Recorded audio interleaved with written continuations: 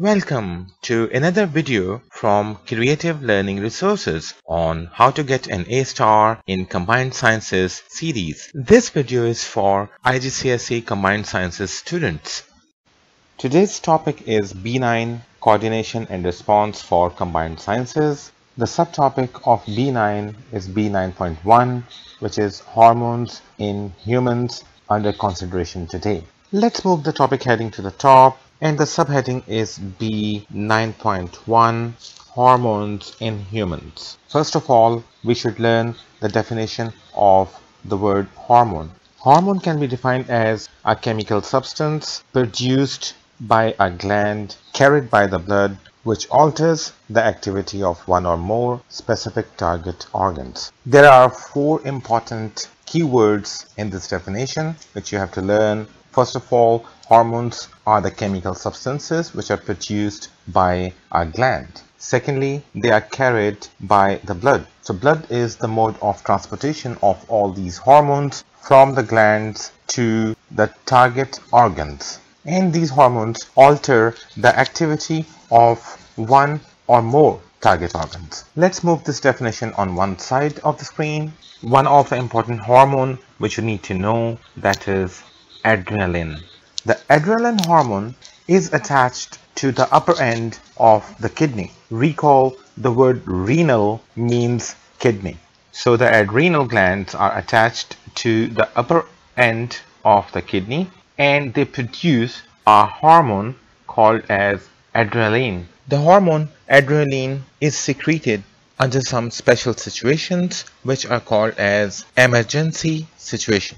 These situations include fight or flight. Fight means once someone is in a situation which is an emergency situation and the person has to fight back for survival. And the flight means once the organism the human or any other animal feels that the best option is to run away to fly away in order to protect him or herself. While the first choice is to combat to fight back but both of these situations the person needs to get ready. The adrenaline hormone prepares someone to get ready under these emergency situations. Now we are going to focus on the effects of adrenaline hormone on the human body. There are three major roles played by the adrenaline hormone. The first role is increased breathing and the pulse rate. This is important because increased breathing rate is going to supply more oxygen to the muscles and to the other cells of the body and the person is going to prepare himself for the situations which are emergency situations like someone is under any mental state like a fear, extreme happiness, extreme sadness, extreme sorrow,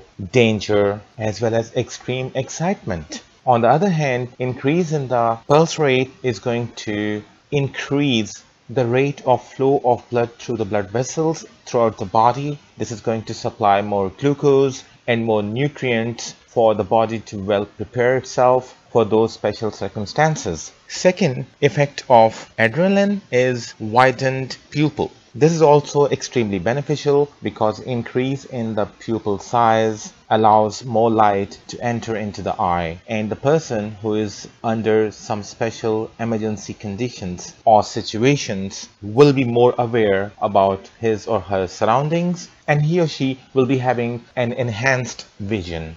Here you can see the widening of pupil due to increase in the concentration of the hormone adrenaline.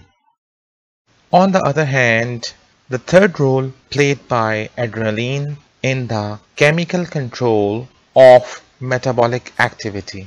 Recall that metabolic activity means the chemical reactions taking place in the body. As a result of these chemical reactions taking place in the body, the stored glycogen in the liver is converted into glucose and this results in an increase in the blood glucose concentration. So a quick recap of the effects of adrenaline on the body once there's more adrenaline secreted and released into the blood, this results in an increase in the breathing and the pulse rate. Secondly, it causes the pupil to get widened. And thirdly, it increases the metabolic activity, which increases in the blood glucose concentration. Increased breathing rate will help to supply more oxygen to the muscles, to the tissues. Increased pulse rate supplies more blood to all the muscles throughout the body, supplying more glucose and more oxygen. Widening of pupil enhance the vision of the person